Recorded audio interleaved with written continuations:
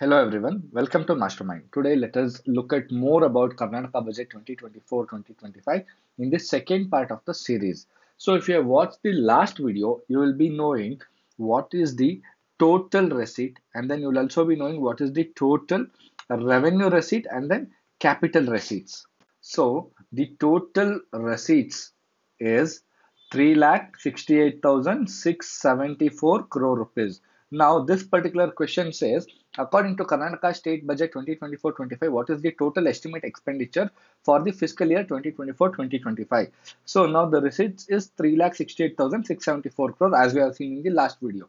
So what should be the expenditure? Expenditure will be usually more than the receipts. So of all the four options, which option is more than 3,68,674 crore? It is 3,71,383 crore. So the right option is option D here. So the total estimated expenditure for the fiscal year is 3,71,383 crore. So please write what is the total revenue receipts and capital receipts in the comment section. Also, please note down that this is the actual size of the Karnataka budget. This is the size of the Karnataka budget 2024-2025 please note down that this particular question, what is the size of the Karnataka budget, was asked in the last prelims. So this particular figure is important. Please note it down 3,71,383 crore.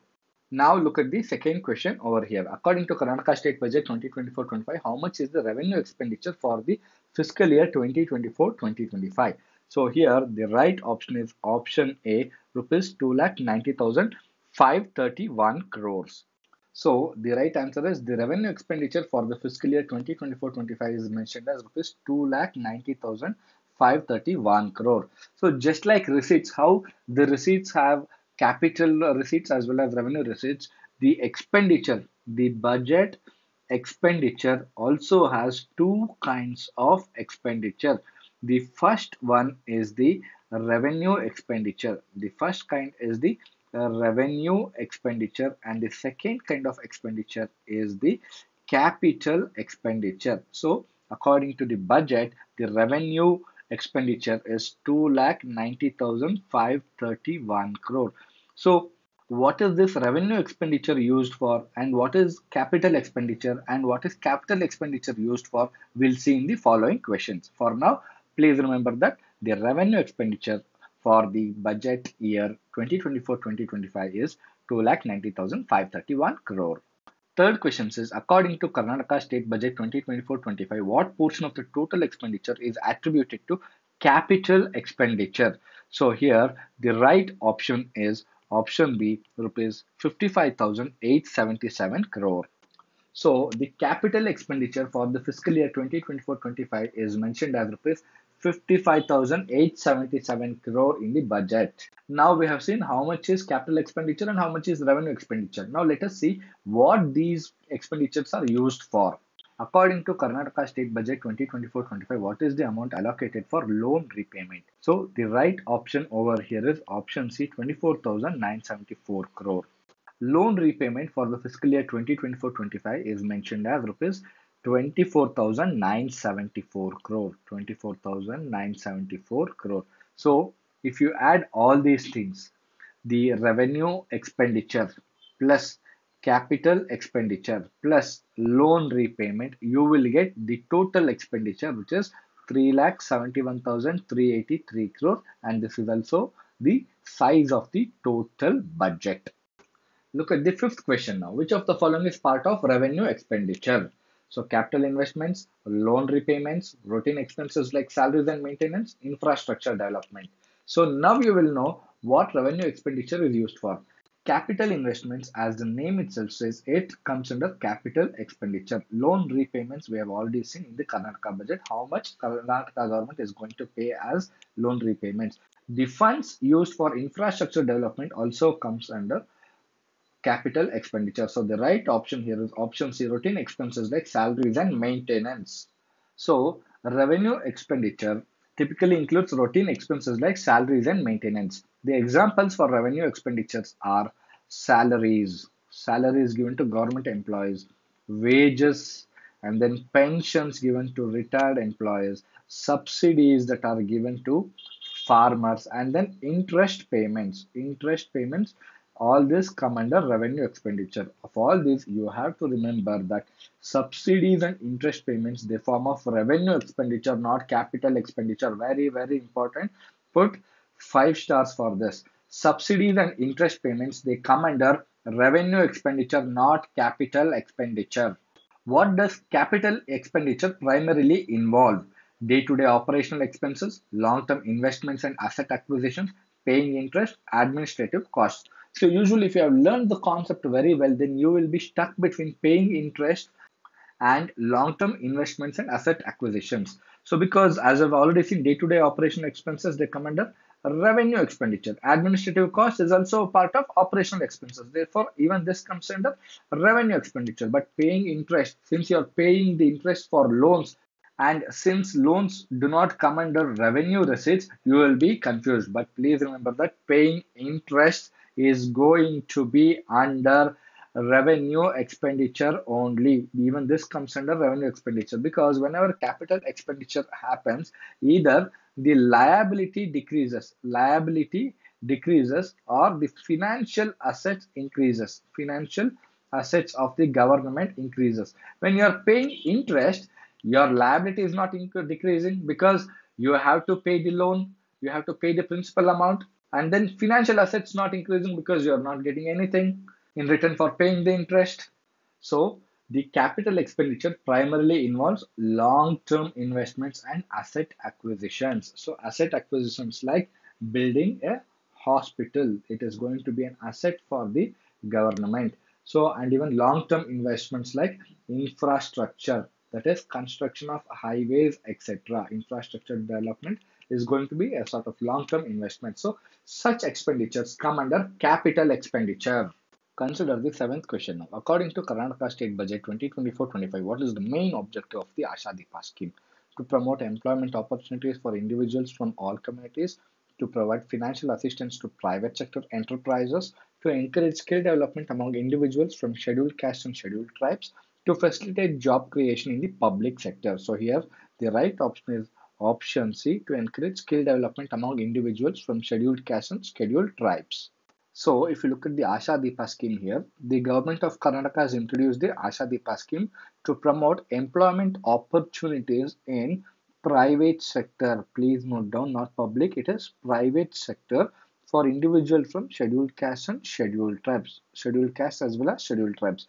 So, and it is implemented through the Karnataka State Workers Welfare and Social Security Society. Karnataka State Workers Welfare and Social Security Society and the scheme aims to achieve the following objectives.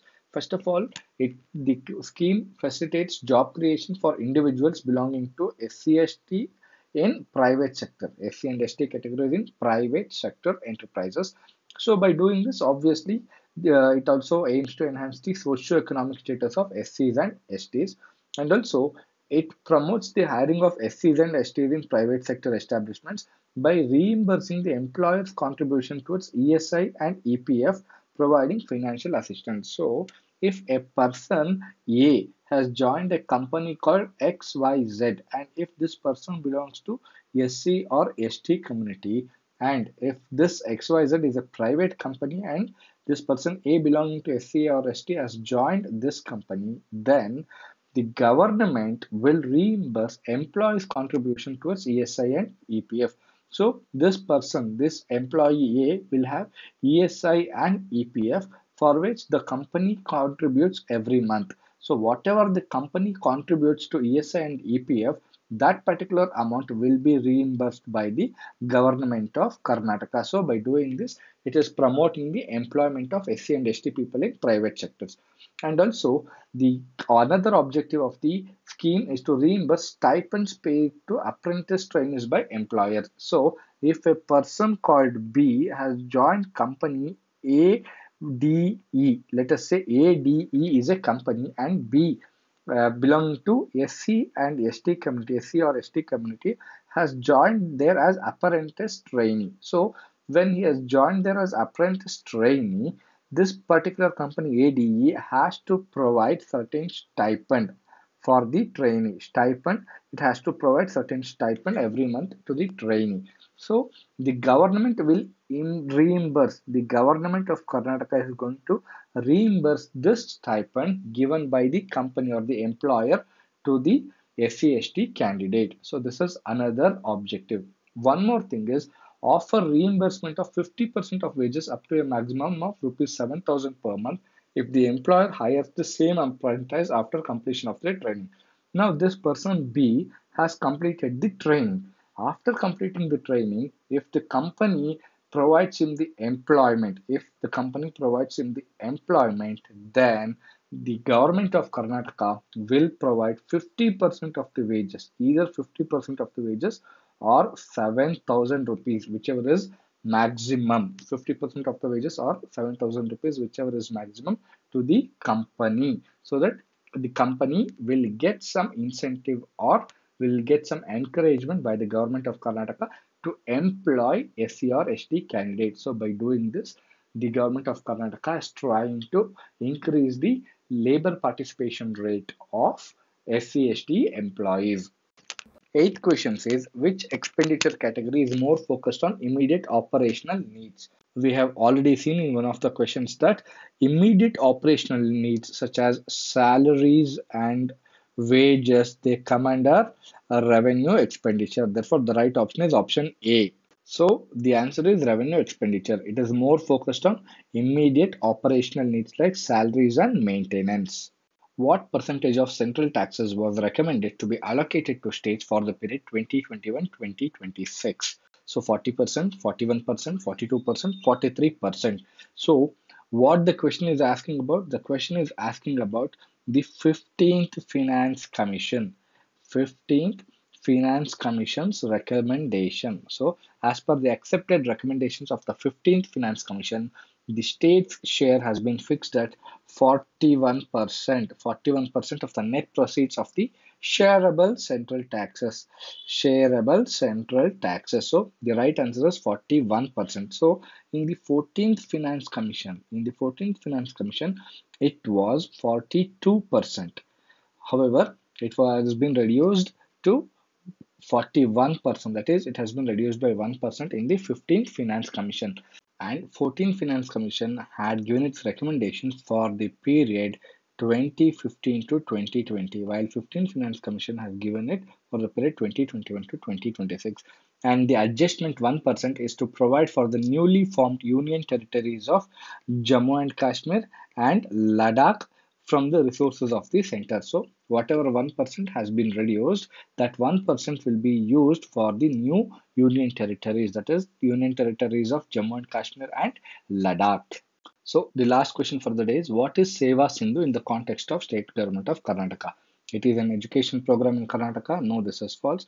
A healthcare initiative by the Karnataka government. This is also false. A transportation system implemented in rural areas of Karnataka. This is also false. So the right option is an integrated platform for accessing government services and schemes in Karnataka.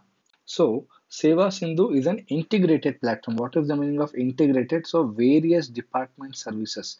The services of various departments are integrated into one single portal and it was initiated by the government of Karnataka with an aim to provide citizens with convenient access to range of government services and schemes and then it streamlines the process of accessing these services by offering a unified system through which multiple services can be accessed. So this is one portal, but it provides access to multiple services. Please remember, it provides access to multiple services. Through this platform, citizens can apply for services online and also monitor the progress of their applications thereby minimizing the necessity for in-person visits to government offices. So for example, if you want to get caste certificate, if you want to get caste certificate, then you can apply it online and also monitor what is happening with your application online itself. So you can also monitor the progress of their applications as well. Therefore, this is just an example. If you want to obtain a caste certificate, then you can apply it online. So how can you apply it using the Seva Sindhu portal? The user-friendly interface of Seva Sindhu ensures ease of navigation and also provides various comprehensive informations about the available services of the state government of Karnataka and also it also details you about the application procedures. It encompasses various service categories, including revenue, agriculture, transport, education, health, police, among others, allowing users to easily locate the specific service they require. So, all the department services, most of the department services are available in the Seva Sindhu portal. So, it encompasses various service categories, including revenue, agriculture, transport, education, health, police, among others. Therefore, we can say that Seva Sindhu extends its accessibility to citizens across Karnataka include those residing in rural areas. So please remember that not only urban but entire Karnataka, urban plus rural areas. It is going to provide accessibility to citizens across entire Karnataka without distinction between urban and rural areas, thus bridging the gap between government services and the people while eliminating or minimizing the requirement for physical visits to government establishments. So this is all about important MCQs about Karnataka budget in this video very very important these points are please note it down and also please revise it regularly so that you won't forget and you will be able to get good marks in the prelims as well as mains examination. Thank you